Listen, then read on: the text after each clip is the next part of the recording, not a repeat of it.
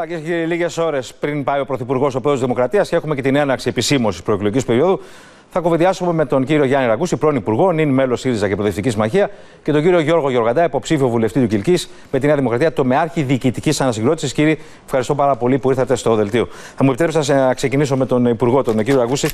Εσείς που θα κατέβετε, κύριε Ραγκούση, Β' Αθήνα σε ποιο τομέα; κάπου αλλού ενδεχομένως. Ε, ενδεχομένως κάπου αλλού, αλλά το ενδεχομένως το υπογραμμίζω με την έννοια, κύριε Μάνεση, ότι δεν έχει αποφασιστεί ακόμη. Το μόνο που έχει αποφασιστεί είναι η θέληση. Εσείς επιθυμείτε; Εγώ επιθυμώ να βοηθήσω. Να βοηθήσετε ε, και, και μολονότι, Ναι, και μολονότι δεν το κάνω από υποχρέωση με την έννοια ότι εγώ δεν έγινα μέλος της κυβέρνησης, άρα δεν, δεν δουλεύει στο μυαλό μου έτσι το θέμα. Πήρα κάτι, πρέπει να δώσω πίσω.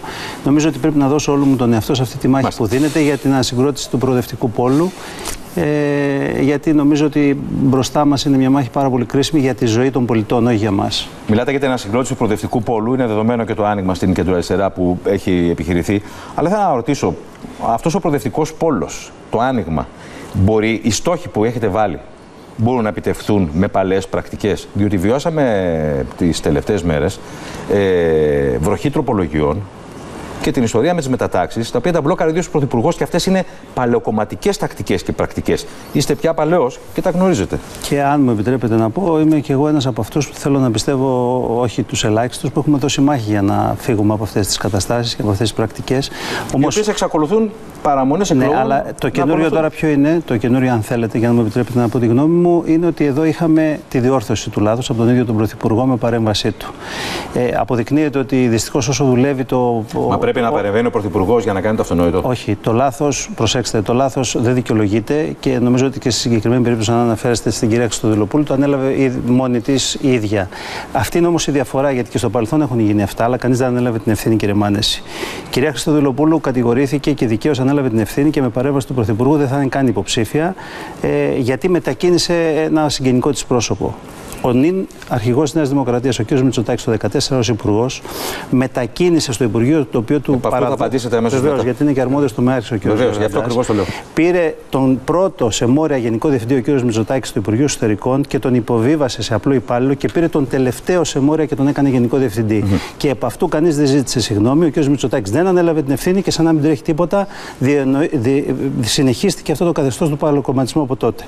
Άρα τα λάθη υπάρχουν και θα υπάρχουν, όσο αν θα σας πω και τη γνώμη μου, όσο δεν αλλάζουμε και το σύστημα. Ο Σταυρός Προτίμηση δυστυχώς παίζει άσχημο ρόλο σε όλα αυτά τα φαινόμενα. Αυτό που στη συγκεκριμένη περίπτωση έχει σημασία ναι, είναι ότι αναλήφθηκε η ευθύνη και διορθώθηκε το λάθος με παρέμβαση του ίδιου του Πρωθυπουργού. Έτσι θα πάμε τώρα προεκλογική περίοδο, ο οποίο έχει κάνει λιγότερα λάθη και τους λιγότερους διορισμούς, δηλαδή το μη χείρον βέλτιστον, για να γίνω συνήγορος του διαβόλου, κύριε Γεωργαντά. Τον τόνο με τον οποίο πηγαίνουμε σε εκλογές τον δίνει πάντα η κυβέρνηση. Και η κυβέρνηση. Και η κυβέρνηση επέλεξε σε αυτήν την ε, τελευταία εικόνα που βλέπαμε όλοι και την παρακολουθήσε όλος ο κόσμος των απροκάλυπτων παρεμβάσεων, των απροκάλυπτων τοποθετήσεων, ε, αξιολογήσεων, επισπεύσεων της τελευταίας στιγμής και όχι απλά της τελευταίας στιγμής, μετά τον Πρωθυπουργό που είπε ότι δεν έχει νομοποίηση πλέον από την ελληνική κοινωνία, εμείς ακούσαμε το βράδυ της πρώτης Κυριακής τον Πρωθυπουργό να λέει ότι πρέπει να απευθεί πάλι στο εκλογικό σώμα γιατί δεν έχει πλέον την εμπιστοσύνη του. Άρα αυτή, είναι, μια, αυτή είναι μια ιονή υπηρεσιακή κυβέρνηση με βάση τις ίδιες τις δηλώσεις του, η οποία έπρεπε να τρέξει τα τρέχοντα μόνο και τα επίγοντα ζητήματα. Ανταυτού είδαμε μια ακατάσχετη, όχι, ε, ε, παρέμβαση μάλλον τελευταία στιγμή σε όλα τα ζητήματα, σε όλα τα υπουργεία. Αυτό το οποίο πήρε πίσω ο Πρωθυπουργός, ένα μέρος, είναι ένα πολύ μικρό μέρος όλων των παρεμβάσεων οι οποίες έχουν γίνει, γιατί σε όλα τα υπουργεία καταγγέλλονται την τελευταία στιγμή τοποθετήσεις διευθυντών, μετακινήσεις. Το Συμβούλιο της Ελληνικής Αστυνομίας για τις μετακινήσεις των αξιωματικών συνήλθε μόλις χθες Σάββατο. Ξέρετε τι σας λένε; Ε, το είπε και ο κύριος Τζανακόπουλος. Ουσιαστικά, εμέσως πλην σαφώς τα κάνατε κι εσείς και κάνουμε κι εμείς τα ίδια. Να σου πω Γιανακόπουλο είπε ότι κάνατε ακριβώς τα ίδια για να δικαιολογήσει αυτά τα οποία συνέβησαν. 182 τροπολογίες. Βέβαια αυτό είναι λίγο ισοπεδωτικό. 182 τροπολογίες. Αν μου επιτρέπετε κύριε Ραγκούση, δεν σας διακόψα. Εγώ θέλω να ακούγεται το λόγο του καθενός. Ναι, είχατε τελειώσει. Εντάξει, ας κάνουμε ελεύθερο διάλογο. Να το κάνουμε, βεβαίως. Απαγορεύονται καυγάδες. Ο ελεύθερο διάλογος επιτρέπεται. Να πω δύο δεδομένα για να μην μαλώνουμε. Ωραία, το ένα δεδομένο είναι ότι η κυβέρνηση Σαμαρά παρέδωσε 1690 μετακλητούς υπαλλήλους και αυτή τη στιγμή έχουμε 2500. Μετακλητή πάλι για να καταλαβαίνουν ο κόσμος μας ακούει, είναι αυτή που παίρνει ο κάθε υπουργό, ο κάθε γενικό γραμματέας, ο κάθε ειδικό γραμματέας στο γραφείο του. 1690, όποιος ανοίξει την απογραφή σήμερα θα το δει, 2500 σήμερα. Αυτό. Αν μου επιτρέπετε είναι, το παιδί ενός οποιοδήποτε τηλεθεατή, ανεξαρτήτως τι ψηφίζει, με όσα μάστερ και να έχει, πόσο εύκολο είναι να γίνει υπάλληλος στη Βουλή; Για να γίνει μετακλητός πάλι ε, Σαφώς, αυτό το οποίο κουβεντιάζουμε τώρα, να μην μπαίνουμε σε. Η μετακλητή πάλι είναι επιλογή των πολιτικών προσώπων, του πολιτικού προσωπικού. Εδώ όμως βλέπουμε τη μεγάλη υπερδιόγκωση του αριθμού αυτή και βέβαια βλέπουμε και πολλά συγγενικά πρόσωπα τα οποία στη συνέχεια μετατάσσονται ναι, στην Βουλή και παραμένουν. συλλήβδην ότι όποιος έχει μπάρμπα στην ε, κορώνη προχωράει. Να σας... Λέω συλλήβδη γιατί αυτό αφορά και στον κύριο Ραγκούση, αφορά σε όλα τα κόμματα. λίγο κάτι για να το κλείσω έτσι λίγο. Βεβαίως. Εγώ, θεωρώ ότι το πολιτικό προσωπικό, μετά, εγώ θεωρώ ότι το πολιτικό προσωπικό μέσα στην κρίση όφιλε να γίνει πιο υπεύθυνο, πιο σοβαρό. Πράγματι, παλαιότερα γίνονταν πολλά τέτοια πράγματα που ενοχλούσαν όλους και δημιούργησαν ένα αίσθημα αδικία στον κόσμο. Η κυβέρνηση της, του Σαμαρά και του Βενιζέλου 12, 13, 14 βάλανε μεγάλο περιορισμό σε αυτό και αυτό προκύπτει από τα νούμερα. Αυτή τη στιγμή έχουμε 30%, 35% αύξηση των συμβασιούχων. Έχουμε αύξηση των γενικών γραμματέων. Έχουμε αύξηση των μετακλητών. Έχουμε αύξηση των μισθολογικών δαπάνων. Όλα αυτά γίνανε από αυτή την κυβέρνηση. Για να μην αναλωθούμε μόνο στο μεταξύ. Να, πω κάτι να κάνω εγώ το ερώτημα και σας απαντάτε όπω θέλετε. Εγώ θα πω για να σας διευκολύνω ότι η διαφορά ήταν τεράστια, ήταν θηριώδη ευρωεκλογέ και ε, αν πιστεύετε κι εσείς ότι γυρίζει όπως είπε και ο Πρωθυπουργός πέραν της γης. Ε, μισό λεπτό. διαφορά. Πείτε πρέπει, αυτό που θέλετε. Ε, ε, να αποκαταστήσω την ακρίβεια γιατί ο κ. Γιώργος. Απλώς εξηγώ ότι στα πέντε λεπτά που ακολουθούν πρέπει να. Θα πάρετε και να απάντηση στο ερώτημα, κύριε Μάνεση, αμέσως. Επειδή ο κ. Γιωργαντά είναι το μεάρχης της Νέας Δημοκρατίας για, το, για τα θέματα της διοίκησης, εγώ είμαι υπουργός εσωτερικών. Ε, λοιπόν, ναι, αλλά σας είπα ότι διωγγώσατε το κράτος. Αυτό είναι ανακριβές και δεν μπορεί αυτό να προέρχεται από τα χείλη της Νέας Δημοκρατίας, η οποία βούλιαξε το ελληνικό κράτος. Παρακαλώ, κύριε Γιωργαντά. Η οποία βούλιαξε το ελληνικό κράτος με την υπερτιόγκωσή του το 2009 που μας οδήγησε στο έλλειμμα του 15% με περίπου εμείς παραλάβαμε. Κρίθηκε, καταδικάστηκε και ανέλαβε μια άλλη κυβέρνηση. Ναι, ναι, και γι' αυτό αυτή τη στιγμή, κύριε Μάνεση. Δεν η ακρίβεια... συμβασιούχοι, κύριε Ραγκούση. Αυτό που είναι ακριβές, κύριε Μάνεση, είναι ένα και είναι το κρίσιμο δεδομένο για το ελληνικό δημόσιο. Οι μόνιμοι δημόσιοι υπάλληλοι αυτή τη στιγμή είναι κατά 10.000 λιγότεροι από ό,τι ήταν το 2015 που παρέδωσαν την κυβέρνηση. Οι μόνιμοι είναι το κρίσιμο. Οι συμβασιούχοι είναι ορισμένου χρόνου και αυτοί που επιβαρύνουν τον κρατικό προπολογισμό είναι πάνω κάτω ίδιοι με αυτού που ήταν. Είναι ψευδές αυτό. Όχι, δεν είναι καθόλου ψευδές.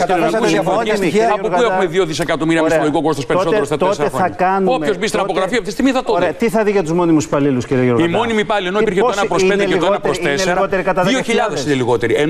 Είναι λιγότεροι. Τώρα ακούσατε τον εκπρόσωπο της Νέα Δημοκρατία να λέει ότι είναι λιγότεροι. Και πριν κατασκεύασε ένα ολόκληρο νέφο. Υπήρχε ο περιορισμό.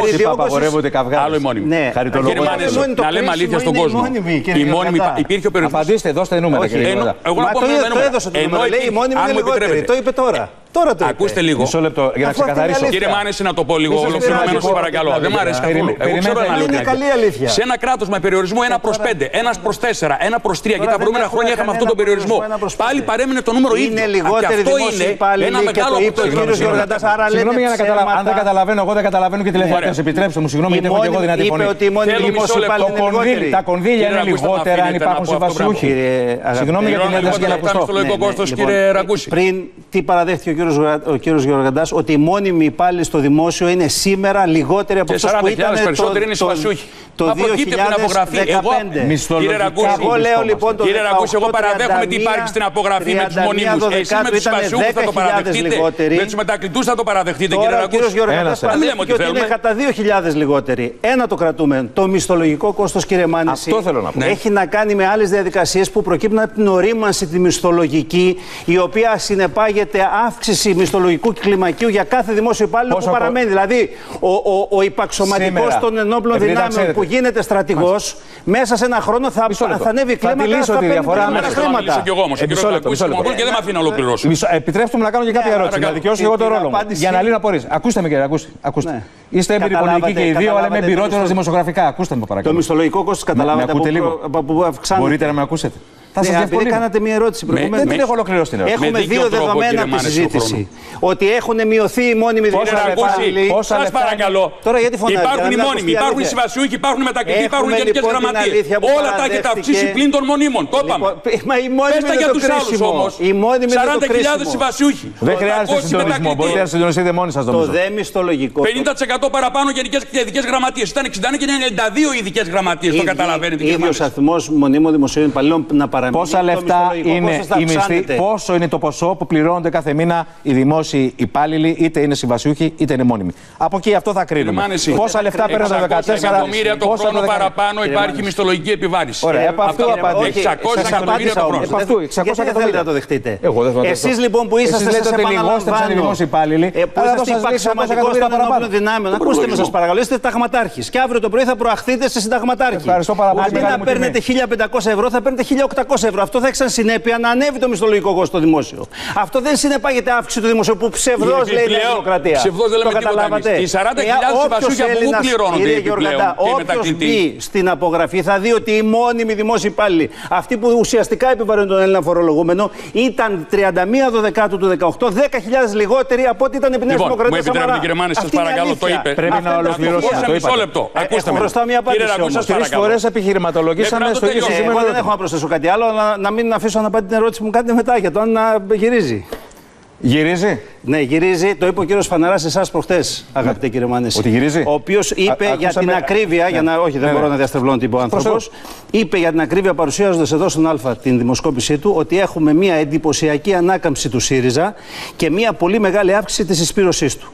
Λοιπόν, επειδή ίδιο οι και για τη Νέα ευρωεκλογέ Δημοκρατία. επειδή οι ευρωεκλογές δεν είναι εθνικές εκλογές και οι εθνικές εκλογές αφορούν τη ζωή των πολιτών, Ωραία. καθορίζουν τη ζωή των πολιτών, βεβαίως και γυρίζει αν αυτό το Πολύ ωραία. αποφασίσουν οι Κύριε Ιωάννα, πολίτε. κλείνουμε. Πάντα στις ευρωεκλογές ο κόσμος αποδοκίμαζε συνήθως την κυβέρνηση και πήγαινε. Δεν επιδοκίμαζε όμως κάποιον. Κοιτάξτε, ιστορικά πάντα αυτό συνέβαινε. Τώρα για πρώτη φορά έχουμε ψήφο επιδοκιμασίας στη Νέα Δημοκρατία. Δεν πήγε ψήφος αποδοκιμασίας στη κυβέρνηση στα μικρά κόμματα, πήγε ως ψήφος επιδοκιμασίας στη Νέα Δημοκρατία για το πρόγραμμά της. Θα υπάρχει συντριβή του ΣΥΡΙΖΑ στις εθνικές εκλογές. Νομίζω το αισθάνονται και οι ίδιοι. κύριος Και Φανάσης, πρέπει όταν να ανεβαίνει. Καλό πάψουν βόλι να και στους δύο. ψεύδονται γιατί πολύ. ό,τι σας είπαμε προκύπτει από την απογραφή. Δύο δις τέσσερα χρόνια παραπάνω μισθολογικό κόστος. Καλό βόλι και στους δύο. Σας ευχαριστώ πάρα Να είστε πολύ. καλά. Ευχαριστώ πολύ.